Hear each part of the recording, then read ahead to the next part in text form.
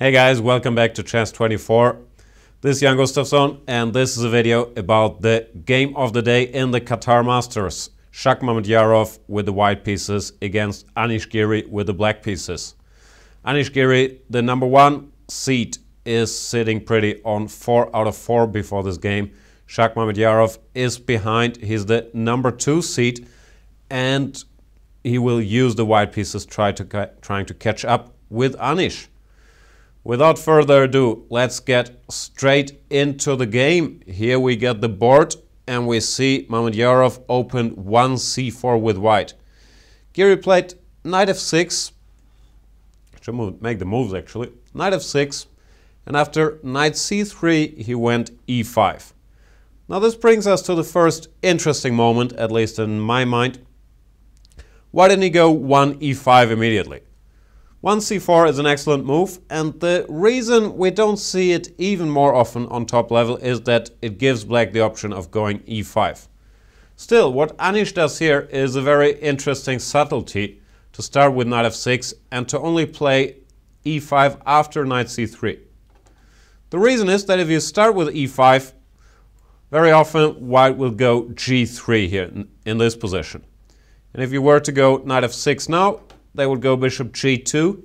There's no knight committed to c3 yet, which means, for example, that black does not have the option of going bishop b4, trying to exchange that knight. So that's an advantage for white because it gives him some flexibility and some more options, avoiding some black lines. Now, of course, you could and should ask yourself, why after c4 knight f6, if white wants that, doesn't he go g3 himself? And very often they do. In fact, I believe this is the move which was recommended by Marin in his books on the English opening. However, now black can choose not to go e5 and has some promising options that would not be so good in other lines, namely c6. This is a pretty effective recipe against the setup with g3 and is an option white players normally do want to avoid. Therefore they go c4 knight f6 knight c3 first, when c6 wouldn't make a lot of sense, white could just play e4. So this is a very interesting subtlety, and if your opponent is a pure English player who is very unlikely to go d4 here or knight f3, or if you want him to go d4 knight f3, it often pays to start with knight f6, wait for a move until white went knight c3, and then play e5, as seen in this game by Anish Giri and here, Mamedyarov interestingly chose the move g3 now, which, as I just mentioned, is a totally normal setup, but once again, this is about small subtleties. And in this position, normally white, if he wants to go g3, he starts with knight f3, more or less forcing knight to c6, and now plays g3.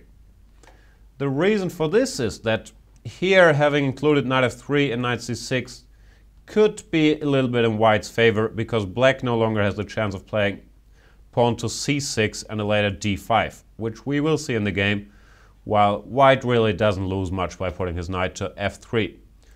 So, by no means a mistake, but an interesting move order here by both sides, and Anish makes use of the extra option, playing bishop b4, leading to some kind of bishop b5 Sicilian with colors reversed and of course a tempo less.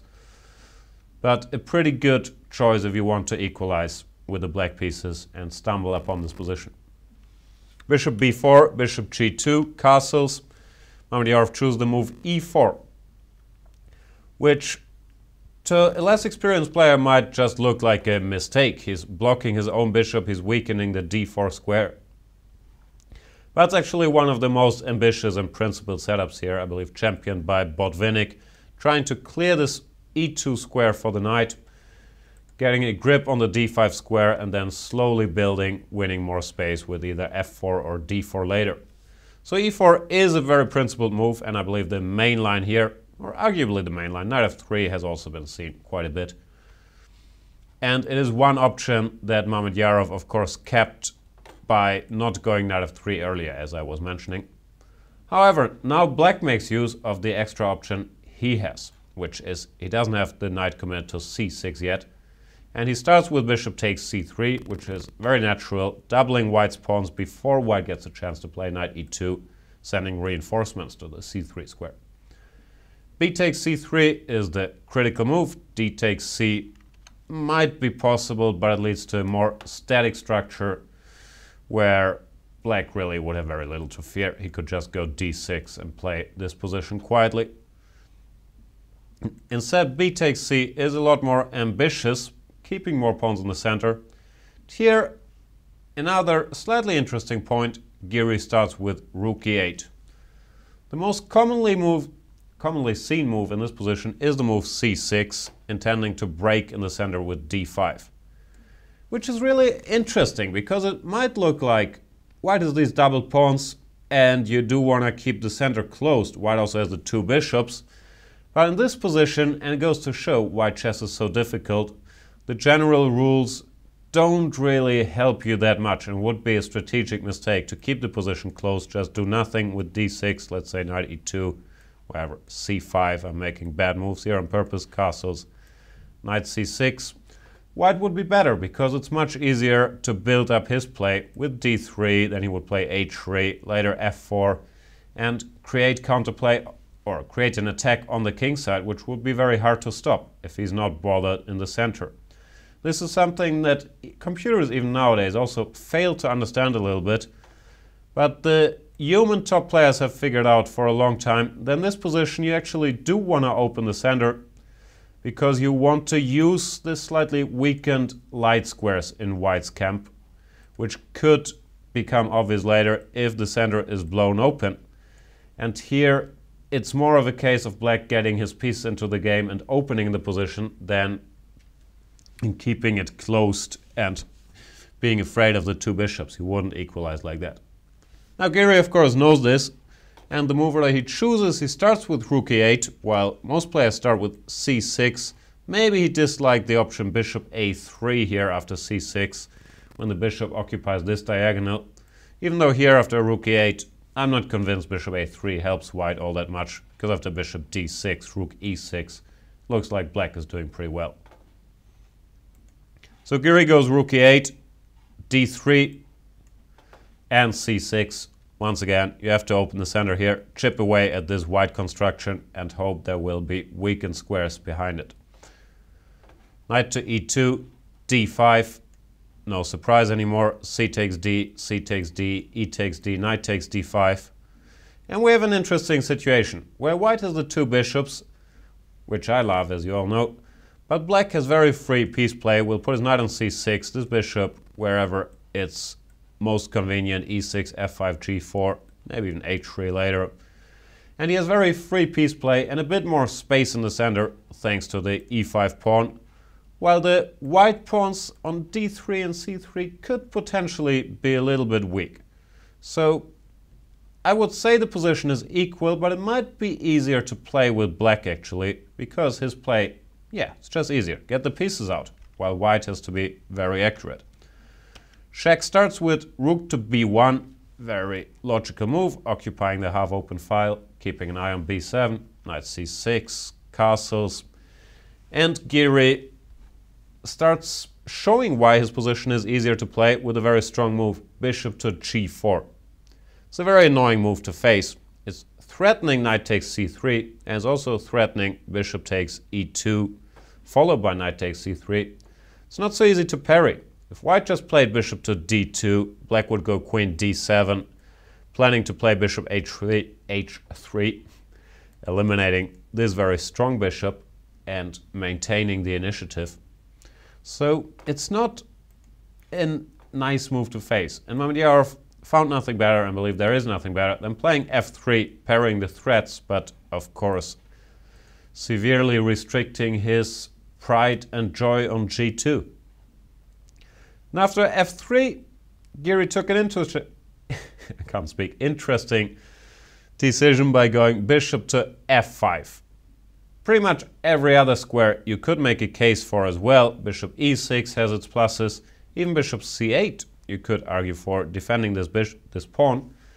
Now Giri went bishop f5, which is the most aggressive move, offering this pawn and saying, go ahead, I dare you to take it. Mamedyarov does take it, and he kind of has to as well. If he were to wait for a move, knight b6 is a threat, black would just be better. So you gotta take this off.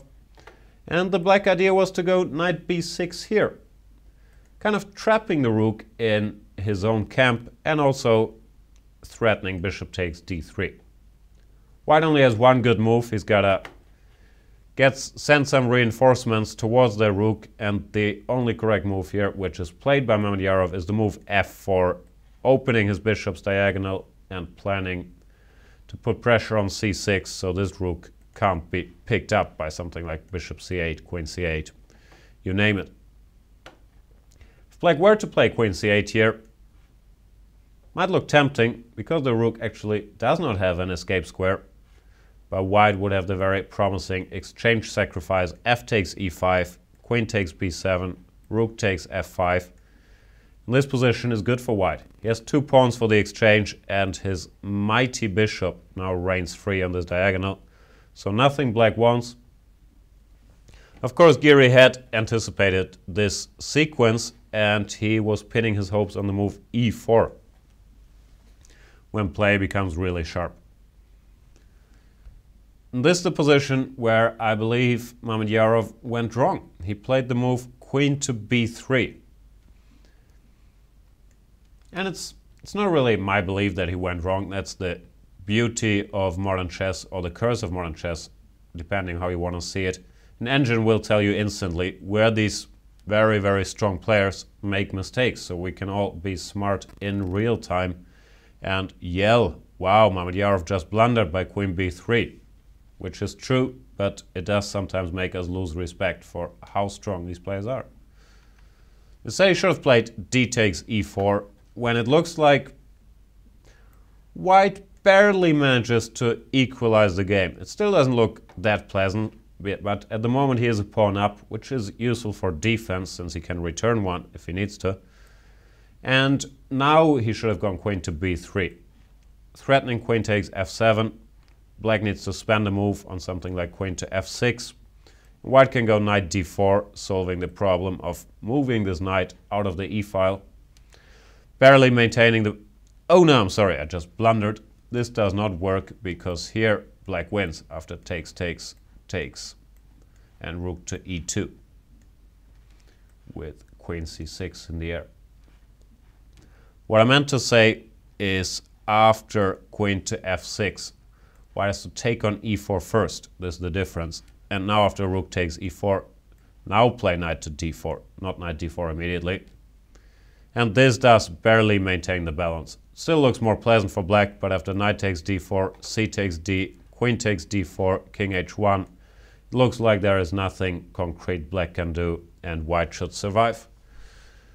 So not the most pleasant scenario for Shak Mamedyarov, but he should have calculated this and pinned his hopes here, because after queen b3, it turns out he's already in real big trouble. Black played bishop to e6, attacking the queen and defending f7. And of course, there's still the option of e takes d3 in the air. Now clearly had planned the move queen b5. All other moves are bad as well. This was his idea, so he went with it. And Giri took on d3. And I believe this is the position where Mamedyarov miscalculated from far away.